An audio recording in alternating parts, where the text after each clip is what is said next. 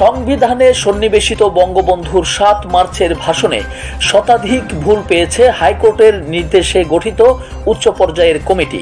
আজ হাইকোর্ট বেঞ্চে এই প্রতিবেদন দাখিল করেছে আইন মন্ত্রণালয়। শাহজালাল বিমানবন্দরে ইলেকট্রনিক গেট চালু হলেও মিলছে না পূর্ণাঙ্গ সুযোগ সুবিধা। যাত্রীরা আঠারো সেকেন্ডে ই গেট পার হতে পারলেও ভিসা চেকিংয়ে সময় লাগছে আগের মতোই।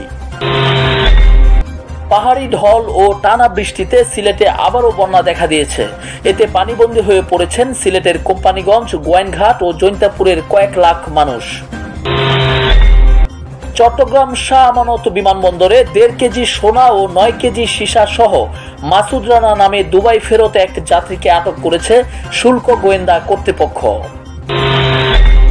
ইউক্রেনকে আরও একশো কোটি ডলারের সামরিক সহায়তা দিচ্ছে যুক্তরাষ্ট্র। পাশাপাশি সাড়ে বাইশ কোটি ডলারের মানবিক সহায়তারও ঘোষণা দেবে দেশটি।